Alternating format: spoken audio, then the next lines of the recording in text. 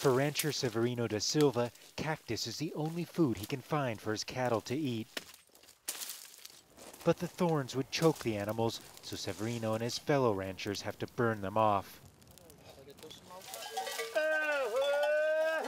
Cactus is one of the only things still growing here, the one glimpse of green in an otherwise barren landscape in Serrita, Brazil, going through its worst drought in a half century.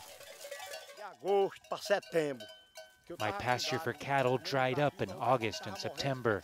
I had my cattle eating a little grass, but they were dying and very weak because what was left of the pasture didn't have any nutrients. Severino's life is now one of daily desperation to keep his cattle alive, even if it means herding them 15 kilometers away from his ranch to where they might encounter some of the little water that still remains. This is one of the last remaining watering holes here in the area, and normally the water would reach up to the tree line level that you see behind me. But right now, as you can see, it's less than 20% capacity, and the little water that remains has almost no oxygen in it, it's full of moss and mud, so even the animals struggle to drink it. Despite Severino's best efforts, his herd is getting more frail by the day.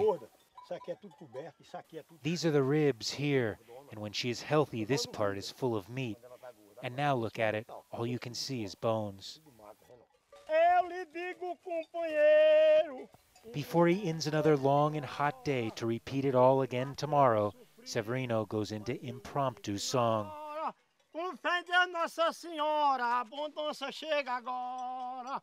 We continue to wait for the rain that only the saints can send us, he sings, because we see our cattle dying, and I am a cowboy that suffers.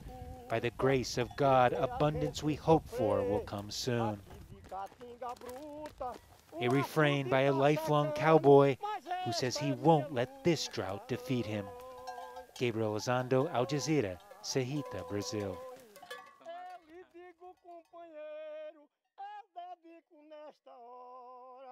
às 12 horas do dia, com certeza eu vou embora, esperando